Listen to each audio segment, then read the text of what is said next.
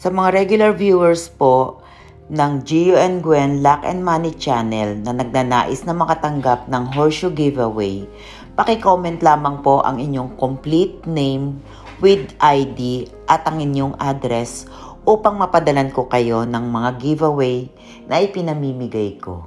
Maraming maraming salamat po. Please watch, share, like, and subscribe to Geo Japan Virtual Tour Channel and Halamang Gamot Channel.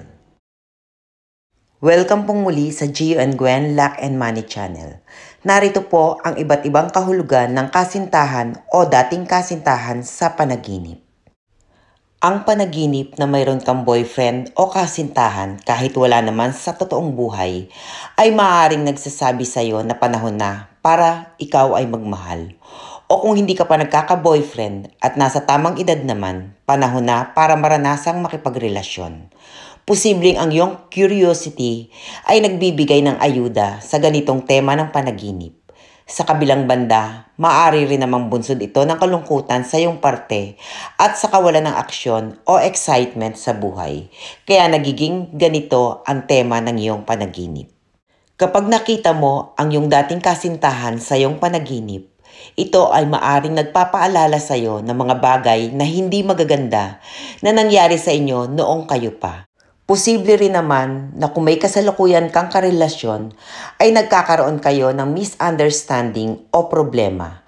Kaya lumalabas na nagkakaroon ng comparison sa ex mo at sa kasalukuyan mong karelasyon. Maaari rin naman na ang rason nito ay dahil mayroon ka pang pagtingin sa dati mong kasintahan.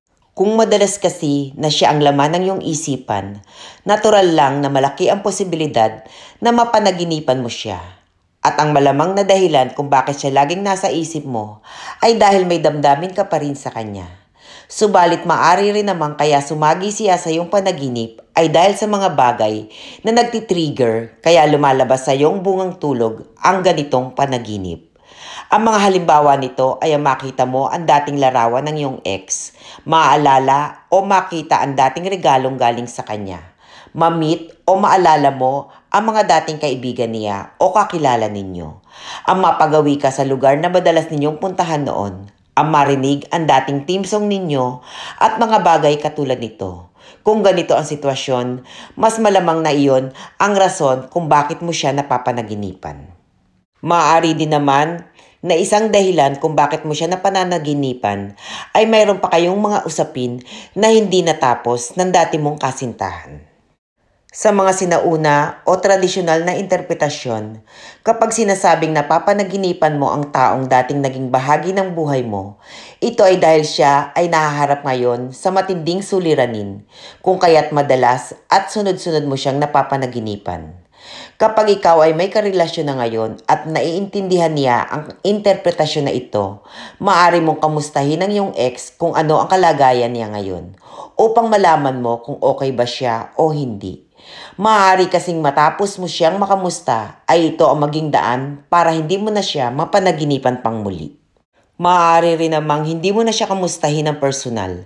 Sa halip ay alamin mo na lamang ang kanyang kalagayan. Kapag nalaman mo na ang kanyang kalagayan, maaaring ito na ang simula na hindi mo siya mapapanaginipan pang muli. Palagi po nating tatandaan na ang mga nakasaad dito ay pawang gabay lamang tayo pa din ang gagawa ng ating kapalaran.